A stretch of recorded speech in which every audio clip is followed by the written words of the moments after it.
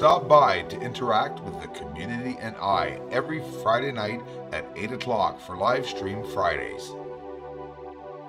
Welcome, trolls.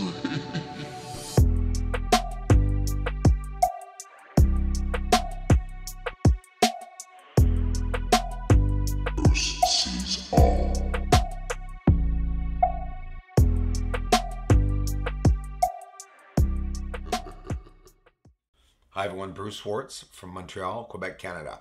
Forgive my voice, I have a little, um, probably a cold beginning of something starting. Thanks for stopping by, everyone, especially the new subscribers and everyone that's been here since the beginning of time.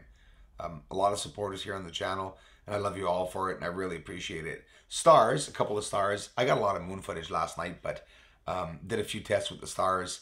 Was not a good night for the the stars. Of course, I'm filming the stars around the moon, right? So I'm looking for asteroids. I'm looking for um, those double flashing lights that I know are UFOs, that I believe are UFOs.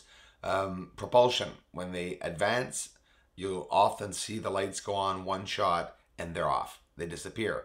Uh, you could often tell the difference between just an asteroid sliver or an actual um, UFO craft. Look at this, guys, in the back. Notice, you see that? The red objects appearing. It's These stars are glowing, obviously, um, the other objects that are in the further background. So with the 14-inch telescopes, you can imagine how small this is in the eye piece of um, a, a camera. but um, once you bring it inside, we can see it. I, I was doing only a few tests, one or two stars, but I want to show you what it looks like when um, a star um, is out of focus when you're too zoomed up into a star. it's pretty cool to see it because um, you really see a big black dot in the center that uh, that grows. I'm going to explain to you because the people were, um, were asking me that they had problems zooming up on the stars and getting them in focus. Well, I'm going to show you exactly how to do it with the 14 in a bit.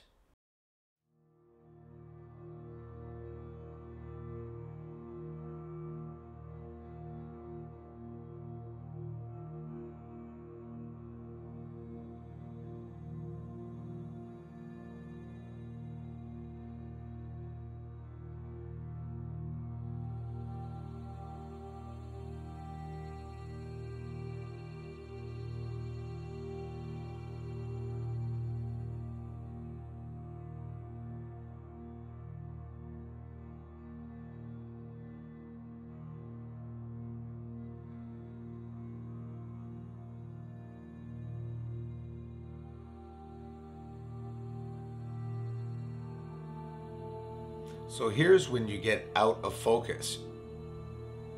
If you're too zoomed up, you'll get the star growing in size. You have to bring your star as small as you can, and um, you'll see little moons and other objects appear beside it, knowing that you're in focus, and that black dot will disappear and the colors of the star will realign itself, as you'll see here.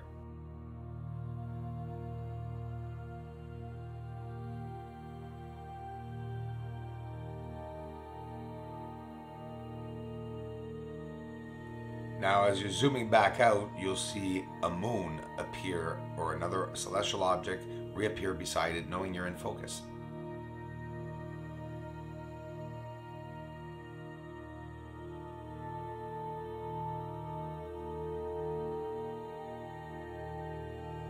So here the telescope is zoomed up too far and you have to pull back to bring it to the smallest point.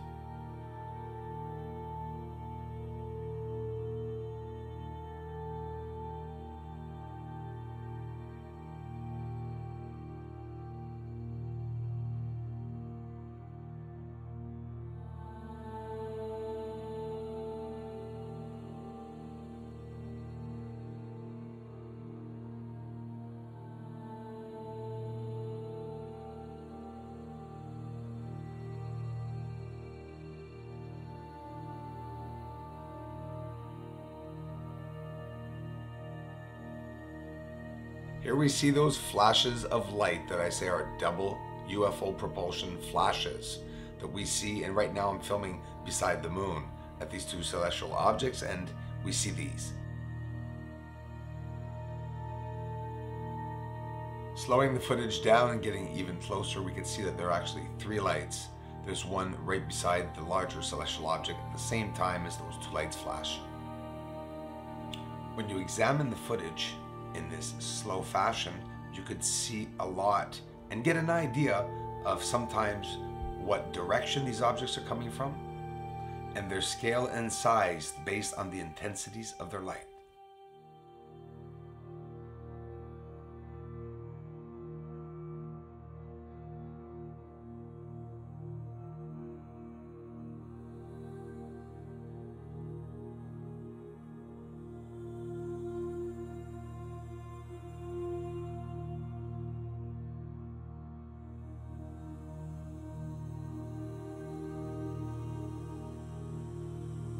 Can see the refraction of light on top of the other celestial objects in the far ground behind the star by slowing it down here.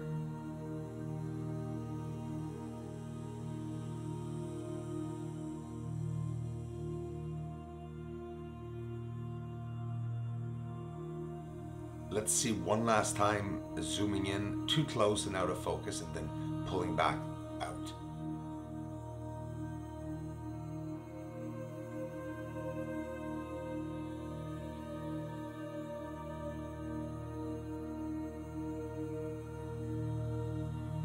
So I'm gonna go do a moon video. I got some footage last night, guys, so I haven't even looked through it yet. This is the Apennine Mountains. We're extremely close. Not everyone can appreciate this. Might may have to lean back a little bit, but look at the lines going by over top of the mountains, the Apennine mountain range. Some of these um, have 90 degree angles. Some of them are going straight downwards into the ground, connecting, overlapping. Thanks for the support, everyone. Another one on its way. Aliens are. Aliens are. And they're really up there. And they're the moon. Aliens are. Aliens are.